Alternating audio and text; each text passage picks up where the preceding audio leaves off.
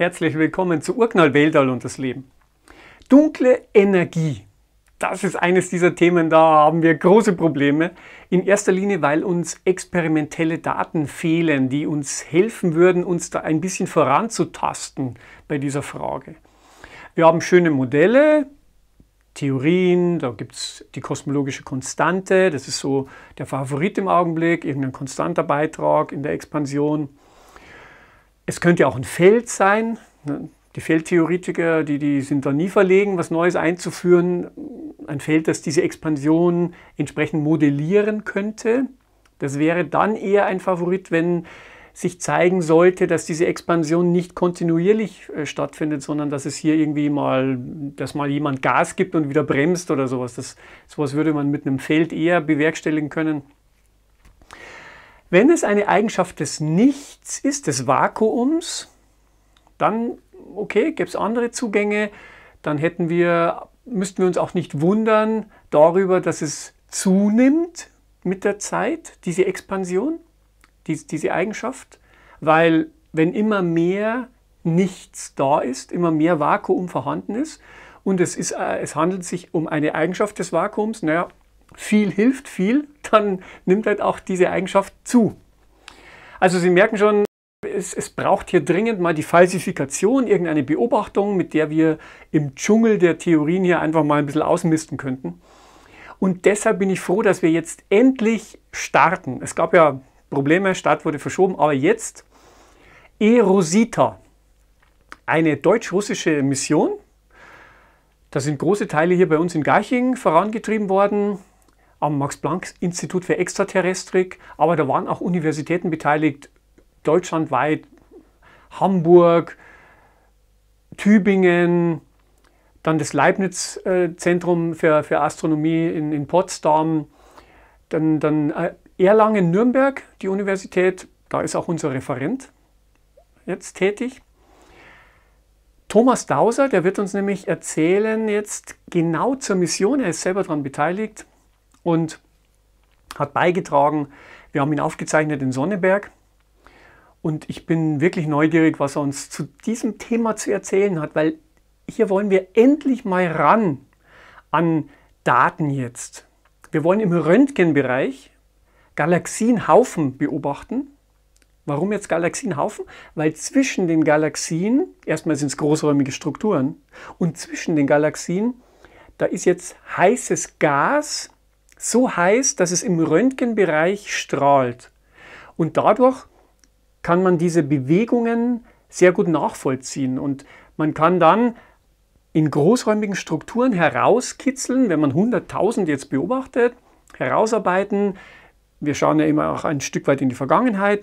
Wie war die Expansion jetzt in früherer Vergangenheit? Wie war sie in weiter entfernter Vergangenheit?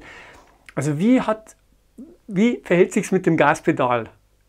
Wie ist es hier mit Gas geben in der Expansion des Universums? Bisher haben wir ja nur diese Daten, die besagen, okay, da gibt es ein paar Supernovae 1a, ein paar Standardkerzen und diese Explosionen, die sind halt nicht so hell gewesen, wie wir sie theoretisch gerne gehabt hätten. Daraus haben wir geschlussfolgert, dass sie weiter weg sind, als wir dachten. Deshalb sind sie nicht so hell, erscheinen sie uns nicht so hell. Wenn sie aber weiter weg sind, muss sie jemand dahin geschafft haben, muss also das Universum beschleunigt expandiert haben. Das, das ist ja so die Argumentationskette im Augenblick. Und jetzt wird es höchste Zeit, dass wir hier neue Daten einholen. Die Mission wird den Röntgensatelliten auf dem Lagrange-Punkt 2 platzieren. Und dann geht's, äh, geht die wilde Fahrt los. Also es, wird, es ist auf sieben Jahre angelegt. Und ich bin wirklich neugierig, was sich jetzt hier ergibt. Das ist Endlich wollen wir hier mal so den, den Vorhang ein bisschen zur Seite schieben beim Thema dunkle Energie. Ganz nebenbei sollen auch drei Millionen aktive galaktische Kerne vermessen werden. Also schwarze, supermassive schwarze Löcher im, im Zentrum von Galaxien. Alles, was sich so im Bereich 0,2 Kiloelektronenvolt bis 10 Kiloelektronenvolt zeigt, da wird Erosita Daten einholen. Das wird spannend. Aber ich Sie merken, am liebsten würde ich jetzt gleich selber loslegen mit dem Thema. Viel besser kann das Thomas Dauser. Ich wünsche Ihnen viel Vergnügen.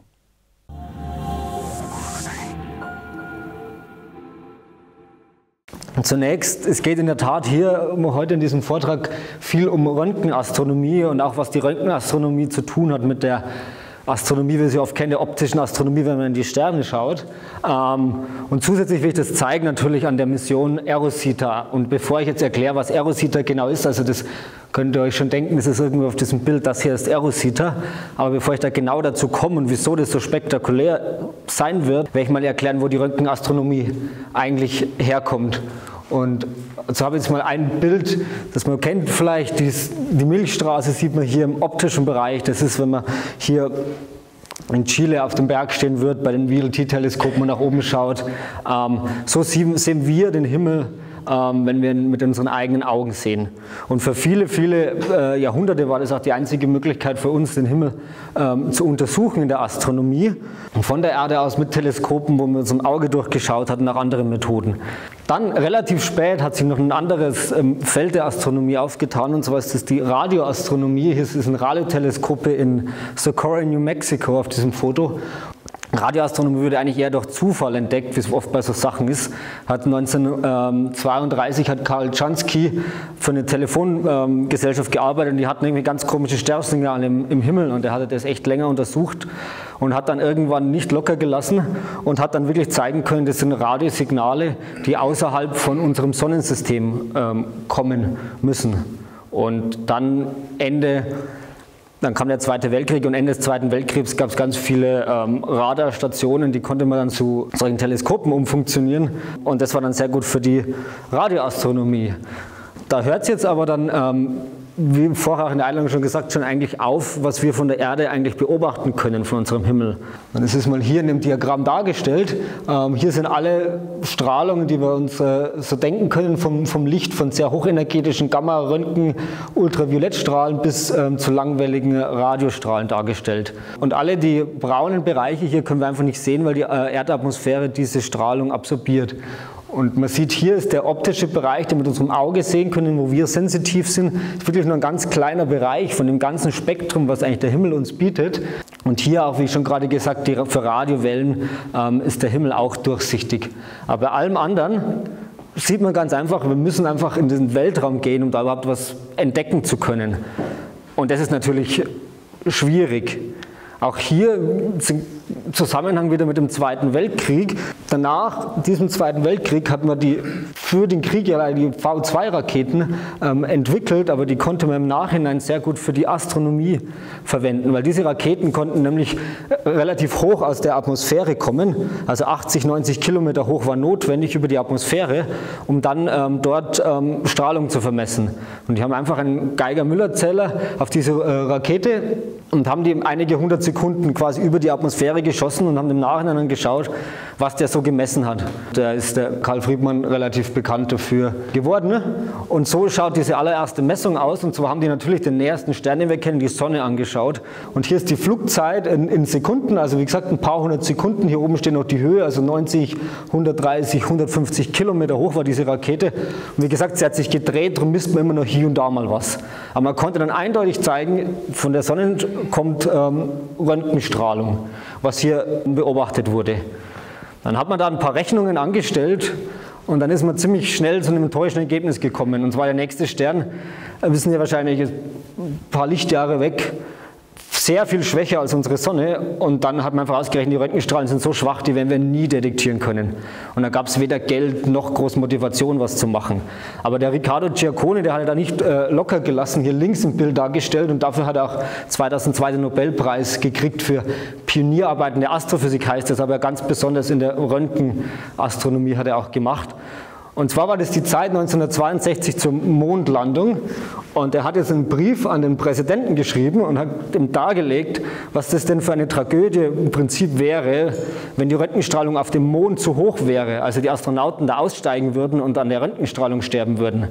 Das hat er natürlich total äh, sofort eingesehen und die ähm, finanziellen Mittel für so eine Untersuchung waren ja relativ günstig. Also haben die gesagt, wir schicken nochmal so eine Rakete hoch und schauen mal, was der Mond so an Röntgenstrahlung macht.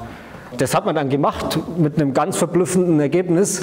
Und zwar war das dann, würde ich sagen, die Geburtsstunde der Röntgenastronomie. Man hat jetzt hier den Himmel von Nord über Ost, Süd, West, Nord gemessen und hier sind einfach ähm, die Anzahl Also wie hell im Prinzip der Röntgenhimmel ist.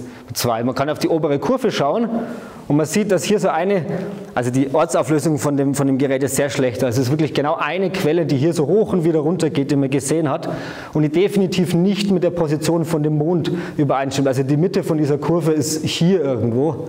Also sie haben noch mehr, da gibt es auch eine Veröffentlichung dazu, noch mehr Studien angestellt und man konnte da zeigen, eindeutig, es ist nicht der Mond, der in Röntgenstrahlen ähm, hier ist, sondern eine ganz andere Quelle. Und zwar ist diese Quelle jetzt bekannt unter dem Namen Scorpius X1 und wurde identifiziert als das erste Objekt außerhalb des Sonnensystems, was Röntgenstrahlung ausstrahlt. Und das wusste man zwar damals noch nicht genau, aber mit 10, 15 Jahre später nach dem ersten Röntgen, das äh, erste Röntgensatellit gestartet ist, wusste man, was das ist. Und zwar ist es ein Röntgen-Doppelsternsystem. Also hier ist ein Stern und hier ist ein kompaktes Objekt, eine Sternleiche, also am Ende der Sternentstehung, wenn der Stern explodiert und ein Neutronenstern und ein schwarzes Loch übrig bleibt und jetzt fließt Masse hier von diesem Stern auf das schwarze Loch und bildet eine sogenannte Akkretionsscheibe. Und in dieser Akkretionsscheibe heizt sich das Gas so sehr auf, auf 10 Millionen Grad, und dann strahlt es einfach in Röntgenstrahlung. Und das ist dann auch ultrahell in Röntgenstrahlung. Und mittlerweile kennen wir nicht nur Scorpius X1, sondern wir haben hunderte Quellen allein in unserer Milchstraße, die ähm, in dieser Röntgenstrahlung so hell strahlen. Und wie wir das alles rausgefunden haben, ist eben, worum es halt auch geht mit Röntgensatelliten. Ne? Und aktuell würde ich schon sagen, leben wir in so einem goldenen Zeitalter der Röntgenastronomie. Ähm, es sind hier, glaube ich, acht Stück Satelliten, die hier in rot markiert sind, die aktuell fliegen und Daten nehmen, äh, die ein bisschen unterschiedliche ähm, Richtungen abdecken und weitere, die ähm, aktuell noch gebaut werden, wie die Spektrum X-Gamma, wo auch Aerosita mitfliegen wird, wo ich dann noch später drauf zukommen würde. Also da oben noch zwei Bilder links von dem XMM Newton Teleskop, was von der Europäischen Raumfahrtagentur gebaut wurde. 1999 gestartet und das Chandra-Teleskop von der NASA rechts, die seitdem bis zum heutigen Tage, ich habe da auch schon damit gearbeitet und Daten angeschaut, wirklich exzellente Ergebnisse haben. Also wie gesagt, wir sind darauf angewiesen, wenn wir diese Röntgenastronomie machen wollen, auf die Satelliten eben. Jetzt würde ich gerne ein paar Beispiele geben, bevor wir zu Aerosita kommen, was eigentlich Röntgenastronomie natürlich ist, also was oder wieso überhaupt Röntgenastronomie, was bringt uns das überhaupt? Ähm, hier ist ein Blick ins galaktische Zentrum im optischen Wellenlängenbereich, wie man es in den Augen, den optischen Teleskope sehen würde. Man sieht viele helle Flecken, man sieht aber auch sehr viel Staub. Also das ist einfach das Schwarze, da kommt das Licht einfach nicht durch, weil es auch absorbiert wird durch den Staub. Wenn man jetzt eine gleiche oder ähnliche Gruppe mit dem Röntgen anschaut, das ist auch das galaktische Zentrum, sieht man, das ist sehr hell ähm, in Röntgenstrahlen, die verschiedenen Farben. Das ist bis die rote ist die niederenergetischere Röntgenstrahlung, die blaue ein bisschen die hochenergetische Röntgenstrahlung. Also passiert ziemlich viel hier in diesen Bildern. Teil des Gases kommt zum Beispiel von Sternexplosionen und dann einfach heißes Gas hier im, im, im Röntgenbereich und man kann sich jetzt diese innere Region auch ganz genau anschauen und merkt, dass von akkretierende Neutronensterne, schwarze Löcher und sogar akkretierende weiße Zwerge eben diese Akkretionsscheiben dann ausbilden, die ultra heiß sind, auch im Röntgenstrahlen. Das mal hier zur Illustration sind ein paar markiert. Also wenn man das galaktische Zentrum jetzt im Röntgen anschaut, dann schaut es deutlich noch beeindruckender aus, finde ich, was eigentlich da an energetischen Sachen passiert hier. Ein zweites Beispiel, was ich habe, das kennen, kennen vielleicht die meisten, es ist ein wunderschönes optisches Bild von dem Orionnebel, der nähersten Sternentstehungsregion zu unserer Erde. Die ist nur 1500 Lichtjahre weg. Hier unten sind ein paar junge, äh, sehr massereiche Sterne, die haben das Gas, dieser, dieses kalte Sternentstehungsgas, was hier oben noch so rumliegt, haben die schon weggeblasen und da oben bilden sich noch neue Sterne in dieser Sternentstehungsregion. Also man kann sich richtig vorstellen, dass da gerade noch wirklich was im Prozess ist. Es ist natürlich jetzt sehr interessant, sowas auch mal in der Röntgenstrahlung anzuschauen und das schaut jetzt nicht ganz so ansprechend aus, aber links hier ist ganz genau das gleiche Bild. Also hier hier oben ist dieser Nebel, den man noch gesehen hat, und unten werden die hellen Quellen, diese, die diesen Nebel quasi schon beseitigt haben. Und man sieht hier ganz leicht so dieses Rötliche, das ist alles Röntgenstrahlung von diesem Gas, von diesen jungen Sternen.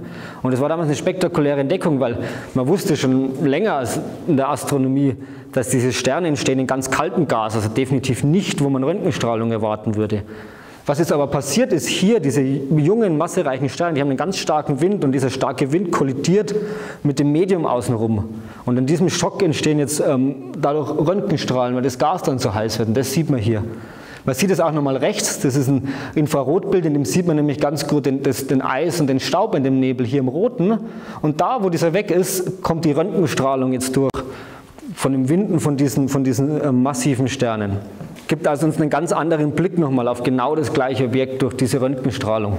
Habe ich noch ein weiteres Objekt, die Andromeda-Galaxie, also die größte ähm, Galaxie jetzt in unserer lokalen Umgebung. Hier ganz groß im optischen und wenn man so innen reinschaut, diffus hier, so wie die viele Sterne hier sind, sieht man ganz ein, einzelne Quellen. Und jede einzelne von diesen Quellen ist ein Neutronenstern oder ein schwarzes Loch, was wir jetzt hier sehen würden, die man in diesem optischen Bild überhaupt gar nicht irgendwie, sieht man da überhaupt nicht. Also diese Quellen, die Neutronensterne, diese schwarzen Löcher sind besonders hell hier genau im, im Röntgenbereich. Also wir sehen auch wieder was, was wir nicht in einem optischen, mit dem optischen Teleskop hier sehen könnten. Und jetzt gehen wir noch ein bisschen weiter raus zu größeren ähm, Skalen. Hier ist eine weitere, die äh, Zigarrengalaxie ähm, 82 ist hier im optischen und hier außen ist ein, ein hochenergetischer Ausfluss ähm, Röntgenstrahlung im Blauen zu sehen. Also auf Skalen von der Größe von der ganzen Galaxie sieht man hier Strahlung im, im, im Röntgen das heißt, wenn man sich jetzt diese Röntgenstrahlung wegdeckt, dann ist das ein ganz anderes Subjekt. Also da muss irgendwas ganz Energetisches passieren und das, all das hängt, hängt, auch zusammen mit dem inneren schwarzen Loch, was in diesen solchen Galaxien sein kann. Und wenn man jetzt noch ein bisschen weiter rausgeht und das ganze Haufen von so Galaxien anschaut, das ist der äh, Koma-Cluster, der Koma-Haufen, sieht man jede einzelne von diesen oder fast jede von diesen Punktquellen, wenn man ganz genau hinschaut, ist kein, eigentlich kein Punkt, sondern es ist eine einzelne Galaxie. Man sieht teilweise, dass die ein bisschen andere Formen haben und zumindest der große große Teil von diesen sind gravitativ gebunden, darum nennt man die Galaxienhaufen. Also die rotieren sich ganz, ganz langsam umeinander, hängen aber alle wie so eine Masse zusammen. Natürlich ist da ganz viel Nichts dazwischen, aber sie hängen trotzdem zusammen. Und wenn man sich das jetzt im Röntgenbereich anschaut, dann sieht man zwar auch noch diese einzelnen Galaxien, aber die werden ziemlich schnell uninteressanter, wenn man sieht, also hier ist ja was ganz, also wenn man nochmal zurückgeht hier das Bild, also das sind ja keine, ich sehe ja keine diffuse, das sind nur einzelne Galaxien und wenn ich jetzt hier hinschaue, habe ich ganz, ganz helles, heißes Röntgengas, was ich im optisch überhaupt nicht sehe. Das kommt jetzt einfach daher, das Gas ist relativ dünn, aber es ist so heiß, dass man es einfach im optischen gar nicht sieht. Und es sammelt sich da, wo die meisten Galaxien ist, sammelt sich ganz viel von diesem, äh, von diesem heißen Gas an und strahlt in, in, in Röntgenstrahlung. Damit kann man diese Cluster und auch das Gravitationspotenzial von diesen Clustern ganz genau vermessen in der Röntgenastronomie. Und hier ist nochmal ein anderes Beispiel von so einem Cluster. Jetzt habe ich mal ein Bild, wo gleichzeitig die Galaxien überall im Hintergrund sind und die äh, Röntgenstrahlung hier in Blau drüber, dass man sich das so ein bisschen vorstellen kann. Und wenn man diesen Cluster analysiert, dann kommt man nämlich darauf, dass die Masse von, von, von den Objekten, die man sieht, ähm, viel, viel kleiner ist als die von den Objekten, die man nicht sieht. Also 500-fach ist der Masse in diesem Cluster, wenn man ausrechnen kann, wie viel Masse in diesem Cluster ist. Dieses Gas sieht man eigentlich überhaupt nicht. Also es ist ja, ist ja ganz interessant, dass man hier Diagnosetechniken hat, um was feststellen zu können, was man gar nicht direkt jetzt im optischen oder so sieht, indem man einfach schaut, wie viel Licht kommt von diesen Sternen her. Also da muss ganz viel andere Masse noch sein. Ich habe noch ein relativ bekanntes Bild von dem Hubble Space Teleskop im optischen aufgenommen, weil in dem sieht man auch wirklich wunderschön die ganzen einzelnen Galaxien mit Formen. Also das war eine acht Tage Belichtungszeit mit verschiedenen Mosaiken wurde hier aufgenommen, die auch einfach mal den Reichtum an verschiedenen Galaxien und auch Protogalaxien äh, die sich hier als Formen zeigen sollen. Und zwar reicht das alles relativ weit zurück. Entfernung im Universum wird in, oder zwischen so Galaxien wird in Rotverschiebung angegeben. Und bei Rotverschiebung 5, da kommen wir schon sehr am Anfang des Universums hin, so weit entfernt ist das. Und all das kann man hier auf diesem einzelnen Bild sehen. Und also das ist natürlich ganz spannend, weil wir können quasi ganz weit in die Zeit zurückschauen, wenn man das Universum zurückschaut, einfach nur weil das Licht so lange braucht, bis es zu uns kommt. Und ähm, natürlich ist es auch jetzt hier sehr spannend zu schauen, welche von diesen Objekten oder Galaxien ähm, strahlen denn überhaupt Röntgenstrahlung, damit wir identifizieren können, was sind denn das für Objekte. Das Bild ist ja ganz schön, aber wir würden ja gerne verstehen, was passiert denn da eigentlich, wenn diese Galaxie so weit weg ist, also wenn, wo dieses Objekt war, wo das Licht ausgesehen hat, war, war, das Universum noch so jung, was passiert denn da eigentlich? Und auch hier kann die, kann, kann die Röntgenastronomie äh, helfen, und zwar ist, stellt es mal hier die verschiedenen Farben, ein verschiedenes Spektrum von diesen ähm, Röntgenquellen dar. Das heißt, das sind einfach ein bisschen unterschiedliche Quellen. Und wenn man das jetzt genau anschaut, dann kann man wirklich herausfinden, was so einzelne Galaxien eigentlich ausmacht. Wichtig ist da jetzt, es ist nicht nur für Röntgen und optisch, es gibt ja, ich habe es vorher schon erwähnt, Infrarot, es gibt UV und Gamma und Radio. Es ist mittlerweile sehr eine Multiwellenlängenastronomie. Jetzt kommen wir dem ähm, Aerosita schon ein kleines Stückchen näher. Und zwar ist das der Vorgänger hier von, von Aerosita, und zwar ROSAT für Röntgensatellit hier oben.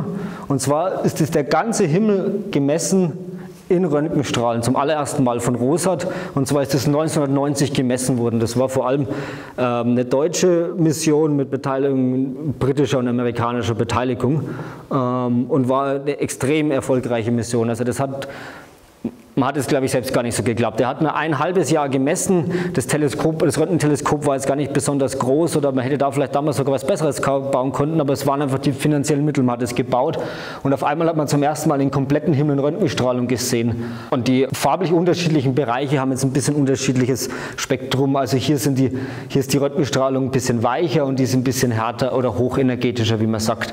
Und das Ganze hat dazu geführt, dass man dann, wenn man alles richtig gemacht hat, es hat Jahre gedauert, bis man identifiziert hatte, dass man auf einmal auf einen Schlag von ein paar hundert Quellen hatten, die Röntgenstrahlung ausgesendet hatte, hatten wir auf einmal fast 20.000 Quellen. Und die sind nicht, ich jetzt mal hier aufgetragen, ist das Gleiche. Es ist einfach schön zu sehen, dass es unterschiedliche Quellen gibt. Was, was hier spannend ist, was nach dem Unterschied sieht, die galaktische Ebene sitzt halt hier. Also alles, was von unserer Galaxie und Röntgenstrahlung kommt, schaut irgendwie anders aus. Das ist irgendwie ähm, Wähler X1 ist ein Supernova-Überrest, der sehr hell in Röntgen ist. Und da konnte man diese verschiedenen Objekte klassifizieren mit Hilfe auch von ganz vielen optischen Beobachtungen. Also man hätte ihn viel, gern viel länger beobachtet, um viel mehr Objekte zu sehen. Und da hat man ziemlich schnell angefangen, an was Neuem zu forschen, wo man 1999 hatte man das schon fertig, das hieß Abrixas. Und anstatt einem Teleskop haben wir gesagt, das ist ja vielleicht, wir machen einfach gleich sieben Teleskope zusammen. Dann haben wir die siebenfache Sammelfläche und haben sieben Detektoren und schießen das hoch, machen das ein bisschen ähnlich wie Rosa, da haben wir schon einiges da gelernt. Leider gab es oben einen äh, Fehler direkt nach dem Start, also der konnte nicht mal die Solarpaneele richtig ausfahren. Das heißt, die Mission das fliegt wahrscheinlich irgendwo noch oben rum und es wird abgestürzt. Ich weiß es mittlerweile gar nicht. Äh, kann man nachschauen. War vollkommen nutzlos leider für die Röntgenastronomie. Und dann wurde es auch immer ein bisschen schwieriger, das zu machen. Also man hat dann die Idee, man kann so etwas Ähnliches auf die äh, internationale Raumstation, auf die ISS bringen. Das hat aber überhaupt nicht geklappt, mit dem, so, einen, so eine Himmelsdurchmusterung zu machen. Die haben da radioaktive Quellen dabei, wenn die mit den Soyuz-Kapseln kommen. Also das ist ganz und gar nicht das, was man für einen sensitiven Server eigentlich gern haben würde.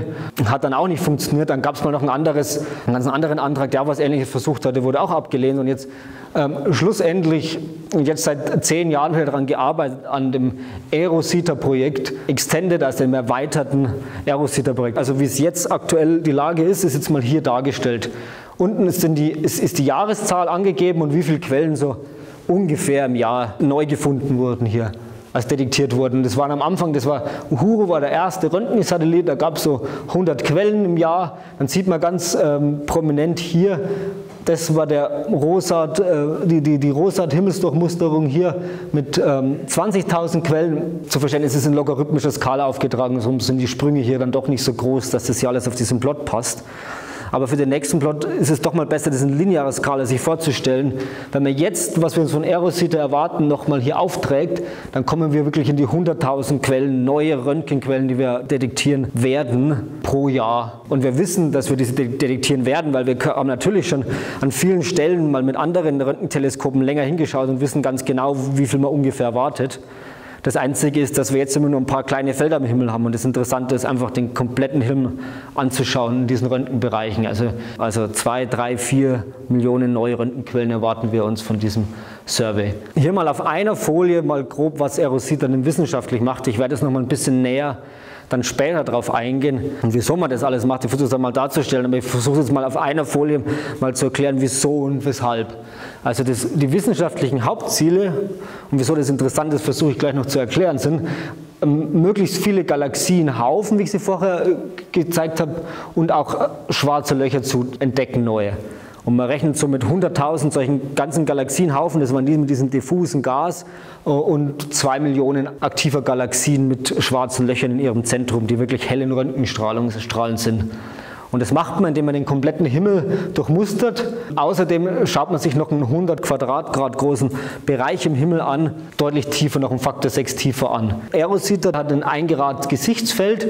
Diesen Röntgendetektor, da kommen wir dann später noch drauf. Also das hier ist eine Simulation wie der ganze Himmel so, die kosmischen Filamente und wo sich diese Galaxienhaufen ähm, so befinden könnten. Ne? Und wenn man da einfach mal so einen Punkt rausnimmt, dann kann man mit so mit hier so ein paar Quellen detektieren mit der normalen Hauptdurchmusterung, die so standardmäßig ist. Und wenn man dann noch genauer hinschaut, was ich für die tiefe Durchmusterung gemeint hat, dann würde man quasi jetzt mal nur exemplarisch für das gleiche Feld nochmal deutlich mehr Quellen finden. Das ist natürlich optimiert, dass man in der Laufzeit von so einem Satelliten möglichst viel ähm, Wissenschaft hat. Auch nochmal vielleicht zu zeigen, was denn der Unterschied ist, wieso wir hatten jetzt den Rosat zu dem, wieso brauchen wir den Aerosy, da kostet ja viel Geld und Aufwand. Also links wäre jetzt mal so ein Ausschnitt von dem Himmel, den der, der, der, der Rosat, ähm, die Rosat-Himmeldurchmusterung gemacht hätte und einfach mal der, nur der gleiche Ausschnitt simuliert. Jetzt mit Aerosita sieht man jetzt unglaubliches Reichtum an, an Punktquellen und das ist, die man alle dann äh, sich anschauen kann. Und so kommt man natürlich am Schluss dann darauf, dass man Millionen neuer Quellen detektieren will. Obwohl Aerosita den ganzen Himmel anschaut, ist die Qualität jetzt von diesem Bild ähnlich zu der Qualität jetzt von dem XMM Newton Satelliten, der jetzt nur ähm, öfter mal in eine Richtung geschaut hat. Also das ist, das ist kein, das, das ist nicht zur Himmelsdurchmusterung, sondern der hat wirklich nur einen Teil von dem Himmel mal öfter hingeschaut, dass man natürlich mal sieht, wie schaut denn sowas aus. Ähm, und ich würde sagen, das ist absolut vergleichbar von der, von der Qualität. Also generell wäre so ein, oder wird diese Himmelsdurchmuster ein ganz großer Schritt sein für die Röntgenastronomie. Rosita wird von der Erde gestartet und es wird aber nicht um die Erde selbst fliegen, sondern es wird an dem äh, Lagrange-Punkt in L2 hier gehen. Es gibt ja so Knotenpunkte im Gravitationspotenzial zwischen Sonne und Erde und hier gibt es ein Maximum darum, da kann man quasi in einer relativ stabilen Konfiguration außen rumfliegen. Hat den großen Vorteil, wir sind so nah an der, an der Erde, man kann quasi die ganze Zeit beobachten. Wenn man nah an die Erde fliegt, dann kann man teilweise halt nur man fliegt mal 90 Minuten um die Erde und kann dann nur 60 Minuten einfach beobachten, aber das ist ja, das ist ja nicht nicht so praktisch für eine ganze Himmelsdurchmusterung. Und zwar schaut jetzt hier Erosita einfach immer weg von der Erde und der Sonne und dreht sich so immer einmal um sich selbst. Alle vier Stunden dreht er sich um, um sich selbst und so scannt er ganz langsam den ganzen, den ganzen Himmel ab. Und zwar ist es so berechnet, dass er einmal im halben Jahr wieder den ganzen Himmel abscannen und das Ganze macht er achtmal, also nach vier Jahren ist er dann, ist er dann auch fertig. Alle Quellen öfter mal anschaut, weil kann ja, können ja auch Fehler passieren. Dann hat man wirklich jede einzelne Quelle achtmal angeschaut. Man kann sehen, wie sich die vielleicht auch zeitlich verändert. Und danach wird Erosita noch drei Jahre mal ein paar Regionen, die interessant sind, die teilweise schon jetzt festgelegt sind, genauer einfach anschauen, die von größerem Interesse sind. Das ist ein bisschen eine Abbildung, die es mal zeigen soll, ähm, in welchem Bereich der, der Astronomie, Röntgenastronomie jetzt ähm, Aerosita spielt. Also hier ist einfach die, mal aufgetragen die, die Größe, von dem diese Detektoren hier messen können. Also von ganz klein, ganz klein ähm, am Himmel, also, also weniger als ein Quadratgrad. Hier wäre ein Quadratgrad zu hier oben den kompletten Himmel messen können. Und links ist die Sensitivität aufgetragen. Also umso niedriger und hier links, umso weiter unten die Punkte sind, umso besser ist es für unseren, für unseren Detektor, weil umso schwächere Quellen, Objekte können wir sehen. Man sieht hier unten gibt es unglaublich viele, also so, so bis sagen wir mal 100 Quadratgrad. Da gibt es einige Sachen, das hat sich immer verbessert und man kommt hier immer weiter runter. Aber wenn man so den ganzen Himmel anschaut, dann gibt es wirklich den Rosat All Sky Survey, die große Himmelsdurchmusterung von 1990 und das ist einfach alles. Und das ist unser ganz großes Ziel hier, diesen weißen Bereich halt einfach hier nach unten, dass der, dass der einfach hier nach unten geht und wir wirklich Quellen anschauen können über den ganzen Himmel, die verhältnismäßig schwach sind, also einen Faktor 30 mal schwächer sind als, ähm, als diese von dem, von dem Röntgensatelliten. Und was ich vorher gar nicht so erwähnt hatte, aber der Röntgensatellit hat noch ein anderes Problem, der misst bloß bis zu mittelmäßig soften niederenergetischen Röntgenphotonen von 2 Kiloelektronenvolt. Idealerweise misst man aber noch viel weiter, bis zu 10 Kiloelektronenvolt. Bis so, so weit kann man die noch gut fokussieren, die Röntgenstrahlung, damit man sie auch in dem Fall messen kann, den Himmel abbilden kann. Und das ist auch sehr wichtig, weil diese niederenergetische Röntgenstrahlung wird auch gern mal von, von Staub äh, noch absorbiert und die hochenergetische eben nicht mehr. Und sie gibt uns, wie alles umso größeren Bereich ich anschaue, ähm, noch zusätzliche Informationen.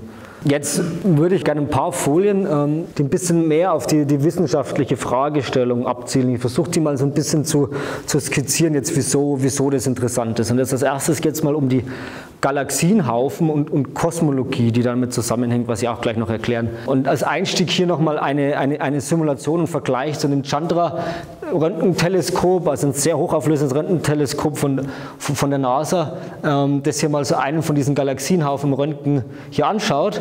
Ähm, das sind jetzt 30 Beobachtungen zusammengestückelt, insgesamt zwei Megasekunden, wie man sagt, das sind glaube ich so 24 Tage. Sehr aufwendig, um diesen einen Galaxienhaufen hier zu kriegen. Und mit Aerosi, da könnte man, könnte man mit deutlich äh, geringerer, ungefähr nur einen Tag hinschauen, dann können wir das gleiche beobachten. Man sieht schon, das ist nicht irgendwie ein schlechtes Foto, sondern das ist einfach das Chandra-Teleskop ist äh, speziell dafür da, das ist hochauflösendste Röntgenteleskop. Das hat eine Auflösung von einer halben Bogensekunde, was für Röntgenteleskope unglaublich gut ist. Aerosida spielt eher in der Größenordnung von 10 bis 15 Bogensekunden. Brauchen wir aber in dem Fall auch nicht. Also das ist natürlich, Chandra ist ein Spezialinstrument ähm, für einen ganz anderen Bereich. Aber wir wollen nur das hier eigentlich messen und bestimmen, wie hell das ist und vielleicht das Spektrum davon bestimmen. Da reicht diese Beobachtung rechts aus und wir kommen viel weniger Zeit aus und können das Gleiche viel, viel effizienter machen. Aber wieso sind jetzt diese, diese Galaxienhaufen so, so interessant für uns? Wieso rede ich mal von diesen Galaxienhaufen? Wir müssen ein bisschen ins Universum zurückschauen. Und zwar links Rho, ein Rho ist das, das ist so die Dichte sein, einfach wie so die Dichte so da ausschaut im Universum, also wie viel Masse da mal enger zusammen ist und mal ein bisschen weiter voneinander weg ist. Im ganz frühen Universum fluktuiert das hier so rum und da passiert nicht besonders viel. Und dann gibt es so die Phase, wo man sagt, das ist die Phase der Galaxienbildung. Ähm, wo sie unsere Galaxien gebildet haben. Und da sieht man, dass diese Dichtefluktuationen deutlich heftiger werden und alle, die mal so grob über so einer kritischen Dichte mal zusammen sind, die bleiben halt dann zusammen und dann bilden sich da die Galaxien und dann auch ganze Cluster dann darum um diese Fluktuationen. Und heute sind es keine solchen Fluktuationen mehr. Also das komplette Feld, das Gravitationsfeld ist ein bisschen geglättet, aber man sieht immer noch, dass wo Objekte oder viele Galaxien jetzt auch näher zusammen waren, das bilden dann quasi diese Galaxienhaufen. Also da ist einfach im Mittel über das ganze Universum im Himmel genommen, in dem einen Bereich ist halt einfach mehr Masse als woanders drum und drum hängen die einfach durch die Gravitation alle zusammen. Und wieso das jetzt spannend ist, ist, wenn wir ganz viele von diesen Galaxienhaufen anschauen, habe das vorher schon versucht mal zu sagen, dann können wir auch relativ weit ins Universum zurückschauen. Also unsere, unsere, unsere Skala ist immer die Rotverschiebung, die wir, die wir hier sagen. Also bei einer Rotverschiebung von 1, die hier rechts dargestellt war, also wir befinden uns jetzt hier bei 0. Das ist quasi, da sind wir jetzt gerade bei einer Rotverschiebung von 1, das ist schon so weit zurück, da war das Universum nur halb so groß, wie es jetzt war. Und wir wollen ja noch weiter zurück, wir wollen ja bis zu fünf oder acht oder neun, wie man mittlerweile zurückschauen kann. Das geht dann schon wirklich an die Anfänge von der, von der Galaxienbildung hin. Wir sind jetzt mit Aerosita so sensitiv, dass wir auch solche, fest, äh, solche weit entfernten Cluster äh, Galaxienhaufen detektieren können. Das ist jetzt mal hier in der einen Abbildung dargestellt. Das schaut jetzt ein bisschen kompliziert aus und man muss es auch gar nicht alles im Detail verstehen. Was eigentlich nur wichtig ist, ist, was hier aufgetragen ist. Und zwar ist hier unten einfach wieder die Rotverschiebung aufgetragen von sehr klein zu sehr groß, also sehr weit entfernte ähm, Galaxienhaufen, die, weil sie so weit entfernt sind, quasi auch in der Zeit sehr weit zurückliegen. Also die waren alle ganz am Anfang des Universums da und die sind jetzt ähm, nah bei uns da, ähm, wie das Universum schon deutlich älter war. Und hier sieht man einfach mal in, in Farbe, was Aerosita detektieren wird und man sieht, und das Wichtige ist dabei, ähm, links ist noch aufgetragen, wie hell der jeweilige Galaxienhaufen ist und man sieht, dass man wirklich von, von Galaxienhaufen von weit weg bis zu jetzt alles detektieren kann. Also können wir die Zeitentwicklung von diesen verschiedenen ähm, Galaxienhaufen über, über die Entwicklung des Universums dadurch vermessen. Und zwar gelingt es, weil wir 110.000 von diesen Haufen als sichere Detektion, also sichere Detektion heißt, man sieht, dass es keine Punktquelle ist, sondern so ein Haufen. Und sogar 23.000 können wir noch zusätzlich da die Rotverschiebung bestimmen, also die Entfernung in diesem Fall bestimmen. Und ansonsten müssten wir jetzt auf optische Teleskope zurückzugreifen, um zu versuchen, bei diesen restlichen 80.000 auch noch die Entfernung zu bestimmen. Und sogar bei 2000 davon könnte man auch diese Temperatur von diesem heißen Gas, was ich vorher gezeigt habe, zeigen. Und der ganze Aufwand, unter anderem auch deshalb, weil uns einfach doch brennend interessiert, also wie ist unser Universum entstanden und wo wird es sich mal hinentwickeln? Wird es irgendwann alles wieder zusammenfallen in sich oder wird es irgendwann auseinander ausdehnen, immer schneller beschleunigen, bis, bis wir gar nichts mehr von unseren ähm, Nachbargalaxien sehen? Und das drückt man in der Physik aus, in der, in der, Kosmologie durch zwei Größen, und zwar der Massen, Massendichte hier, Omega m, und der Vakuumenergiedichte. Durch diese zwei Größen kann man die Entwicklung des Universums beschreiben. Also das sind die Größen, die es gilt für uns zu bestimmen, um zu verstehen, wie sich dieses Universum entwickeln wird und wie es sich entwickelt hat. Und da steckt natürlich eine ganz größere Theorie dahinter, aber jetzt von der beobachtenden Astronomenseite her ist das ist das die Abbildung, wo wir einfach besser sein, sein wollen. Und Erosita wird dann quasi ganz genau ähm, mit relativer Genauigkeit diese Werte festlegen können. Man weiß schon ungefähr, dass das irgendwie so bei, bei 0,2, 0,3 ist, 0,7 jeweils. Aber umso genauer das ist, umso genauer kann man dann feststellen, ob unser Universum wirklich flach ist oder wo es hingehen wird. Die zweite große Sache, habe ich auch schon erwähnt, ist, dass Erosita ganz Millionen weiterer aktiver Galaxien ähm, entdecken wird. Aktive Galaxien, das ist einfach eine Galaxie mit vielen optischen Sternen außenrum, in der Mitte ist ein schwarzes Loch. Ähm, und vermutlich ist in jeder Galaxie ein schwarzes Loch, aber in einigen Galaxien ähm, hat das schwarze Loch außenrum auch noch Gas, dann bildet sich so ein supermassives schwarzes Loch, das kann eine Million, eine Milliarde mal so viel Massen wie unsere Sonne haben, bildet sich auch so eine Akkretionsscheibe, die ist auch sehr heiß und diese strahlt dann auch im Röntgenbereich. Und wenn wir jetzt wieder ganz viele solche, äh, solche schwarze Löcher messen können, dann können wir sogar die ganze Verteilung messen, die, die, die, die, hier da ist. Es sollte hier so ein bisschen dargestellt werden. Hier ist einfach nur eine Simulation. Die Kreuze sind, sind eigentliche Quellen und mit Detektionen hier noch dazu. Das soll ich nur mal zeigen, also das in grau hinterlegt sind so ein bisschen so die Strukturen, die Filamente in unserem Universum, wo sich so die Masse einfach auffällt.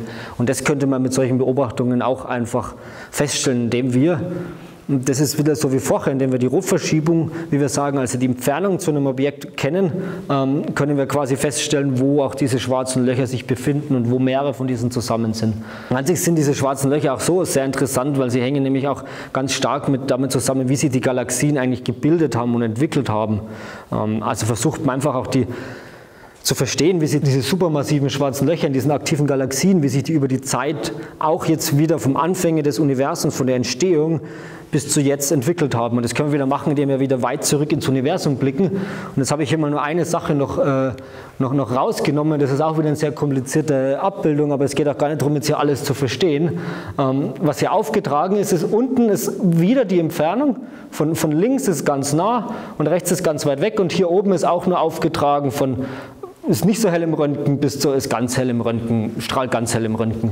Und was man jetzt hier machen kann, ist, man kann einfach mal so einen Durchschnitt machen und man kann einfach mal anschauen, wie hell sind denn schwarze Löcher so ungefähr, die nah bei uns da sind und wie hell sind denn die schwarzen Löcher, die relativ weit weg äh, von uns sind. Also weit weg heißt wieder zu einer relativ früheren Zeit. Und dann merkt man, ähm, das war nie gleich verteilt, sondern ungefähr zu einer Rotverschiebung von 1, wo das Universum halb so groß war, wie es jetzt ist, waren diese aktiven Galaxien am aktivsten. Also da waren die wirklich am allerhellsten in der, in der Röntgenstrahlung. Und das ist natürlich sehr spannend, das weiß man jetzt schon, aber natürlich würde man gerne ein bisschen mehr herausfinden, wie diese Galaxienbildung und die schwarzen Löcher zusammenhängen. Und ein allerletzter Punkt ähm, noch äh, ganz kurz dazu. Zusätzlich zu diesen ganz, ganz großen Weitenskalen kann Aerosita sogar in unserer Milchstraße auch Sachen detektieren, die sich einfach ändern, wo, wo sich einfach die Röntgenleuchtkraft über die Zeit ändert. Das könnte von Sternen sein, die ihre Röntgenhelligkeit ändern, bis hin zu sogenannten Tidal Disruption Events. Das sind bei so supermassiven schwarzen Löchern, wenn da mal irgendein Stern außen rumfliegt, der wird dann einfach zerrissen und dann gibt es eine ganz starke Röntgenexplosion und auch solche Sachen kann Aerosita detektieren. Also auch nicht nur das Universum, sondern auch wirklich zeitvariable Sachen. Aerosita ist ein Projekt, was geleitet wird vom Max-Planck-Institut für extraterrestrische Physik in München. Wir von der Universität Erlangen-Nürnberg und der Sternwarte Bamberg sind auch groß beteiligt und es hat auch andere Institute in Tübingen, in Hamburg und in Potsdam, die hier mitarbeiten in Deutschland. Und natürlich ist ja die Industrie ganz groß gefragt, ähm, weitere Teile zu bauen. So sollte Aerosita ausschauen oder Aerosita ist eigentlich nur dieses Teil hier oben das ist unser Röntgendetektor, den wir haben wollen. Dann gibt es zusammen noch, gibt's noch einen ART-XC, wie er heißt, hier einen, einen, Detektor, der misst noch härtere Röntgenstrahlung, funktioniert ein bisschen ähnlich wie, wie Aerosita, der wird von, von Russland entwickelt, weil diese, dieses komplette Projekt ist eine Zusammenarbeit zwischen der deutschen und der russischen Raumfahrtagentur. Und zwar stellt Russland die, die ganze Plattform und den Start und alles und darf sein eigenes Instrument drauf bauen und wir dürfen Aerosita drauf tun und dafür kriegt quasi Russland, da komme ich gleich noch drauf, die Hälfte unserer Beobachtungsdaten. Also wir versuchen da zusammenzuarbeiten mit, mit, mit Russland. Ich werde werd noch da ein paar Worte dann dazu sagen. Ne? Also im Prinzip haben wir das geschafft, jemanden zu finden, der uns hilft, das zu finanzieren. So ein Satellitenstart ist teuer, 100 Millionen, 200 Millionen. Ist viel Geld, also man muss irgendwie schauen, wie man das hinkriegt. So viel äh, Geld hat jetzt die deutsche Raumfahrtagentur DLR auch nicht irgendwie locker. Darum war das für uns eine ganz gute Sache, das so zu machen. Ähm, wenn man jetzt hier mal reinzoomt, nur auf dieses Aerosita-Teleskop, was ich mir genannt habe, sieht man, es sind eigentlich sieben Teleskope. Das hier sind die einzelnen Teleskope, ich habe auch gleich noch Fotos davon. Von hier oben fallen die Röntgenstrahlen drauf und die werden dann hier unten detektiert von, von, von den Detektoren. Und natürlich gibt es ja noch alle möglichen anderen ähm, Sachen, die man, hier, die man hier noch hat, die jetzt nicht ganz so wichtig sind. Und jetzt habe ich mal hier ein paar Fotos, wie das eigentlich wirklich ausschaut. Also das Ganze ist jetzt auch nicht so besonders klein, es ist so zwei, dreimal Mann hoch hier. Sieht man das hier aufgebaut. Ähm, beim Zusammenbau, das sind jetzt die einzelnen Teleskope, also eins von diesen sieben. Und hier unten ist mal nochmal vergrößert eins hier rein, äh, reingeschachtelt. Ähm, hier, diese, diese Struktur ist nur dazu da, um die eigentlichen Spiegel zu halten. Und Röntgenspiegel funktionieren so, also Röntgenstrahlung, darum auch die Sache mit dem Zahnarzt, das geht einfach durch quasi fast alles durch oder wird, wird dann am Ende irgendwann absorbiert. Um Röntgenstrahlen zu fokussieren, muss man unter, unter einem Grad, einem halben Grad, auf einer ganz flachen Oberfläche müssen die Röntgenstrahlen auftreffen. Was man dann hier schafft, ähm, ist, dass man hier ganz viele von diesen Spiegeln so ineinander baut, dass man eine möglichst große Sammelfläche hat. Also es sind lauter so viele so runde Gebilde, die ganz, ganz präzise hier reingesetzt werden und hier festgehalten werden.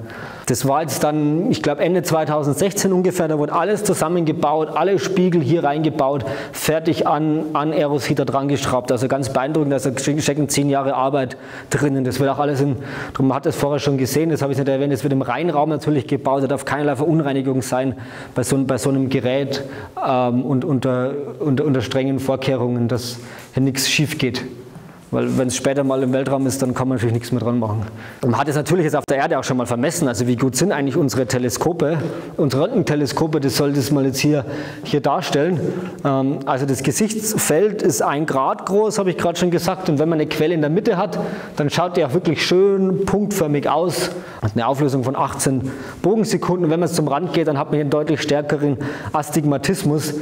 Also das schaut jetzt relativ furchtbar aus, aber für so Röntgendetektoren ist das schon eigentlich echt ziemlich gut. Also die, die, sind schon auch gar nicht so groß da draußen. Wie ja vorher gesagt, das ist nicht wie zum Beispiel bei dem Chanda-Teleskop, das wir eine möglichst gute Auflösung haben wollen, sondern wir wollen natürlich den Himmel durchmustern und für irgendwas muss man sich dann da entscheiden. Also diese Messungen haben gezeigt, dass Aerosita super funktioniert. Wir waren alle sehr glücklich, dass das wirklich so gut ausschaut, will ich das damit sagen. Um mal zu zeigen, was es passieren würde, wenn eine so Quelle durch das Gesichtsfeld geht, weil ich gesagt habe, außen hat man eine schlechtere Auflösung. Ähm, also das ist quasi jetzt, sagen, sagen wir halt zeitintegriert, dass wenn man quasi länger hinschauen würde, dann würde man jetzt die Quelle, die ist erst wie, wie sie hier breiter ist und in der, Innen, in der Innen ist sie quasi besser aufgelöst und dann wird sie zum Rand hin wieder breiter und man sieht auch, dass es dann ein bisschen dunkler wird, also dann nimmt auch die Helligkeit man eine Quelle äh, sehen kann, auch ein bisschen ab zum Rand. Diese Röntgenstrahlen sind jetzt von diesen, von diesen Teleskopen fokussiert, aber jetzt müssen wir die Röntgenstrahlen natürlich auch noch irgendwie detektieren. Und es funktioniert auch, wie, wie im optischen oft mit ähm, CCD-Detektoren.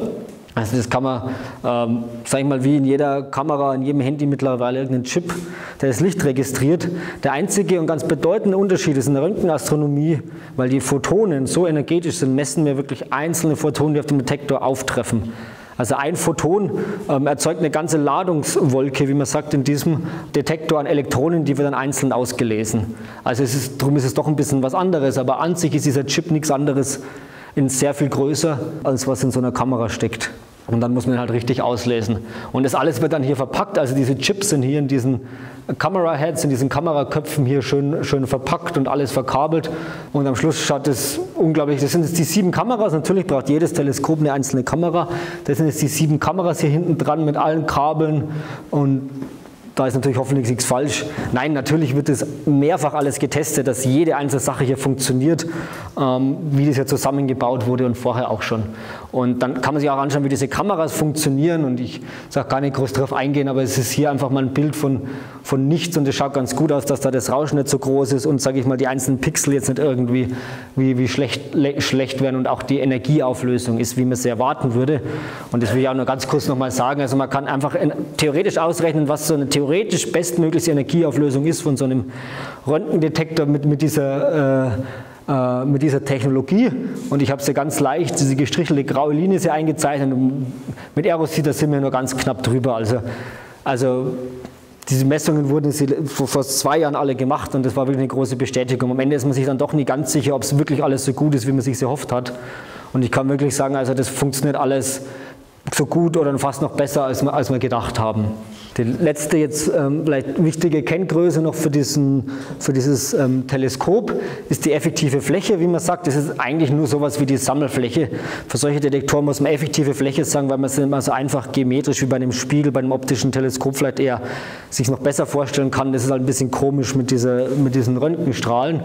Alles, was das jetzt noch zeigen sollte, ist, dass diese rote Kurve ist das Aerosida-Teleskop und die ist hier so logarithmisch aufgetragen, also ein Faktor, ein paar, fast zehn besser als, der, als das XMM-Newton-Teleskop von der ESA, was gerade noch fliegt und besonders auch als der, als, als der ROSA, der 1990 gemacht wird. Also man, man ist deutlich sensitiver und vor allem sieht man, was ich gerade gesagt habe, ROSA hört bei 2 Kiloelektronenvolt Röntgenstrahlung auf. Wir würden aber wirklich gerne noch die viel härtere Röntgenstrahlung sehen, weil die noch zusätzliche Informationen liefert. Okay, und ganz zum Abschluss habe ich noch ein paar Bilder, wie jetzt Erosi dann Anfang, das war Januar 2017, wurde das verladen.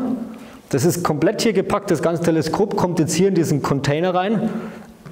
Der Start ist, das habe ich noch gar nicht erwähnt, natürlich in Russland, wenn Russland für den Start zahlt. Und dann geht es halt, wie man das so macht, in diesem Container. Also da ist Airbus da drin, hier auf das Flugzeug.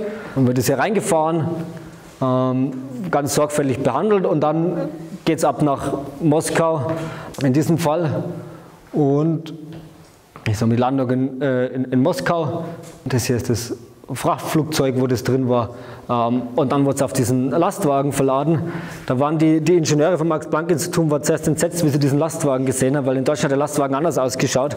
Hat sich aber herausgestellt, sie sind absolute Spezialisten. Er hat eine extra weiche Federung, dass er quasi mit diesen Straßen so gut zurechtkommt. Und man danach also es hat alles super funktioniert, die hatten nur Angst, wie sie den Lastwagen gesehen haben, dass der irgendwo dass die nicht verstanden haben, was sie da, also kann ja passieren, dass du nicht verstehst, was man eigentlich da transportieren muss, dass da zehn Jahre Entwicklung. Also alles, was wir gemacht haben, steckt in diesem einen Lastwagen. Aber es hat, also es hat alles gut geklappt, es ist angekommen, es wird natürlich dann wieder zusammengesteckt und getestet und so weiter und es ist alles in allerbester Ordnung. Das waren auch wirklich Profis, da darf man sich nicht von dem Äußeren täuschen lassen. Also die haben den extra noch modifiziert sogar. Letzte Folie noch dazu, wie das mit, diesem, äh, mit, mit Aerosi dann im ganzen Projekt an sich funktioniert ist. Ich habe das gerade schon erwähnt.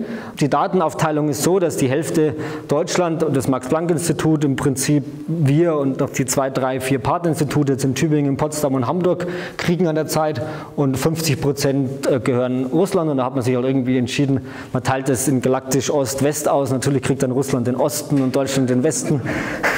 Es war wirklich so.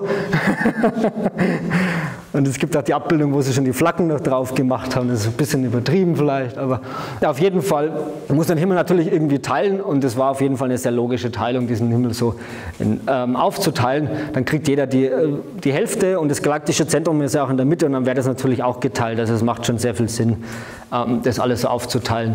Für die deutschen Daten ist es jetzt so, ähm, dass die nach zwei Jahren öffentlich werden. Also wirklich jeder auf der Welt kann diese Daten einfach anschauen. Das gibt es uns als Wissenschaftler den Vorteil, wir haben quasi zwei Jahre Vorsprung mit den Daten was zu machen und wir kennen es natürlich auch aus. Stellt aber auch sicher, dass wir die nicht für uns behalten, sondern dass wirklich jeder an dieser Wissenschaft teilhaben kann. Und es wird auch Software zur Verfügung gestellt, mit der man diese Daten auch anschauen kann. Also zumindest wenn man sich in dem Fachbereich auskennt, ist es nicht so, dass man jetzt irgendwie Kontakt jetzt zu uns aufnehmen müsste, sondern es kann wirklich jeder in der Röntgenastronomie, sage ich mal, diese Daten verwenden, was ja auch wichtig ist. Es geht ja so viel Zeit und Energie in dieses Projekt, da ist auch gut, wenn es möglichst vielen Leuten Nutzen hat.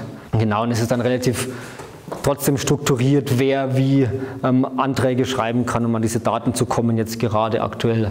Das nochmal ganz kurz ähm, zusammenfassen. Also ich bin der Meinung, dass Aerosita wird unser Wissen über den Röntgenhimmel revolutionieren und ich hoffe, ich konnte euch so ein bisschen davon mitgeben, wieso das vielleicht ähm, spektakulär war. Ich habe versucht aufzuzählen über die Galaxienhaufen aus dem heißen Röntgengas und die ganze Entwicklung der schwarzen Löcher, was wir da alles Neues lernen könnten dadurch und auch die schwarzen Löcher neutronisch in unserer Milchstraße und zeitlich variable Phänomene können wir damit messen. Und auch die wichtige Message ist noch, also die aktuell ist der ist es der, der Röntgendetektor Aerosita in, in, Russland, ist quasi fast zu Ende getestet, es funktioniert extrem gut und es sind gerade noch die letzten Tests, muss halt auf diese Plattform dann zusammenbauen und wieder auseinandernehmen und das andere russische Experiment, ähm, das ART-XC noch dazu bauen.